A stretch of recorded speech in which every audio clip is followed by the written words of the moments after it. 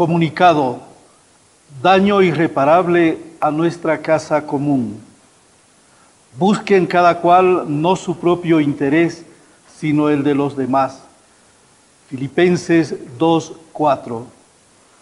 La Secretaría General de la Conferencia Episcopal Boliviana, en nombre de los obispos de Bolivia, ante el desastre natural sin precedente de las zonas de la Amazonía, la Chiquitanía y el Chaco boliviano, se une una vez más al clamor popular y a las múltiples voces que piden poner solución a los incendios que están destruyendo una riqueza natural invaluable en el oriente de nuestro país. Ya son más de dos millones de hectáreas quemadas, así como a las situaciones de necesidad humana que se han creado y la víctima fatal que lamentamos. En esta situación hay una grave responsabilidad del gobierno nacional por el decreto supremo número 3973 que favorece los chaqueos ilegales sin el necesario análisis y conocimiento del medio. Hay serios indicios que detrás de este desastre nacional y humanitario hay una decisión de ampliar la frontera agrícola en Bolivia que no ha tenido en cuenta los intereses de la casa común, ni los principios básicos de la ética ecológica, así como tampoco la conformidad de los pueblos indígenas, como está prescrito por ley. El Papa Francisco, en la rueda de prensa regresando de su viaje a Mozambique, Madagascar y Mauricio, ha afirmado, hay una palabra que tengo que decir que está a la base de la explotación medioambiental y la palabra fea es corrupción. Yo tengo la necesidad de hacer esto, pero para hacer esto tengo que deforestar aquello. En nuestro caso, el hecho de que no se realizó el necesario debate nacional despierta la sospecha de que hay intereses tras esta situación.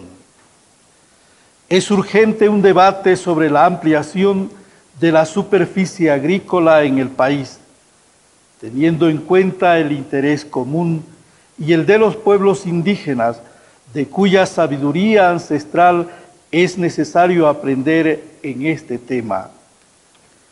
Como medidas inmediatas, es necesario que el gobierno nacional revoque de inmediato la autorización de desmontes y chaqueos, declare emergencia nacional en las zonas afectadas, con promulgación del decreto de inmovilización y pausa ecológica y absoluta prohibición de todo cultivo y extracción, promoviendo solo actividades de reforestación, así como administrar con eficiencia los recursos procedentes de la ayuda nacional e internacional.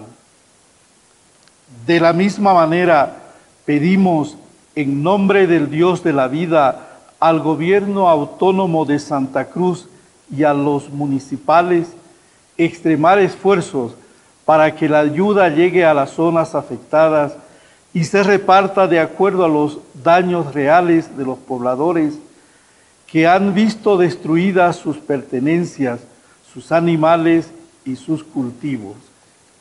Estas medidas tienen que ir acompañadas de sanciones ejemplares para los que causan estos incendios por la gravedad del delito en contra del ecosistema y de la biodiversidad. Al respecto, recordamos lo dicho por el Papa Francisco, que en la exhortación apostólica Laudato Si afirma con contundencia, desnudando la tierra de sus bosques naturales o destruyendo sus zonas húmedas, que los seres humanos contaminen las aguas, el suelo, el aire, todos estos son pecados. Llamamos a los colonos y pobladores del lugar a que cesen en la actividad del chaqueo incontrolado y se respeten los espacios naturales en bien de la obra de Dios destinada a todos, cuyo cuidado nos ha encargado como sus colaboradores.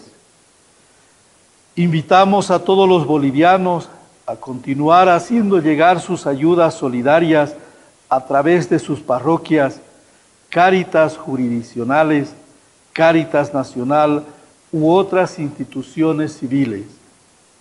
El autor y dueño de la creación nos ayude a cuidarla y preservarla de todo mal.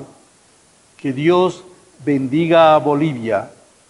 La Paz, 11 de septiembre de 2019, Secretaría General, Conferencia Episcopal Boliviana.